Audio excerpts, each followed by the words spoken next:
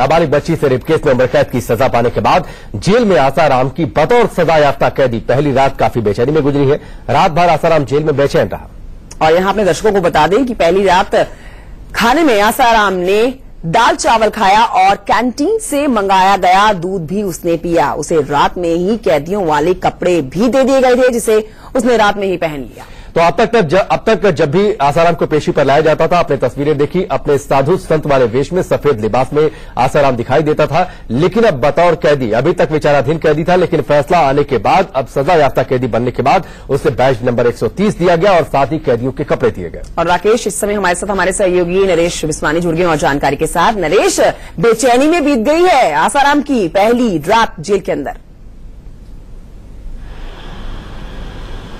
बिल्कुल, काफ़ी ज़्यादा बेचैन था अभी हमारी बात हो रही थी डीआईजी पेजेंस जोधपुर से तो उन्होंने ये बात बताई कि रात भर काफ़ी ज़्यादा बेचैन था और इसके बाद उसने एक गिलास दूध कैंटीन से मंगाया, साथ ही साथ दाल चावल भी जो कैंटीन से मंगाया और खाया, क्योंकि अब तक जो है उनके लिए खाना आश्रम उनके आश्रम से आता था।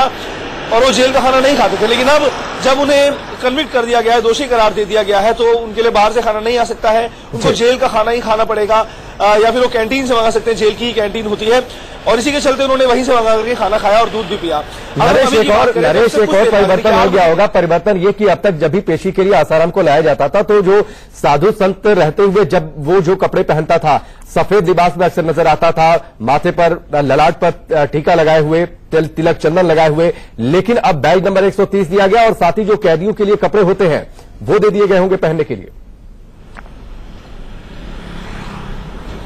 बिल्कुल, उन्हें कपड़े पहनने के लिए रात को ही दे दिए गए थे और उनको कैदी नंबर 130 का बैच भी दिया गया था।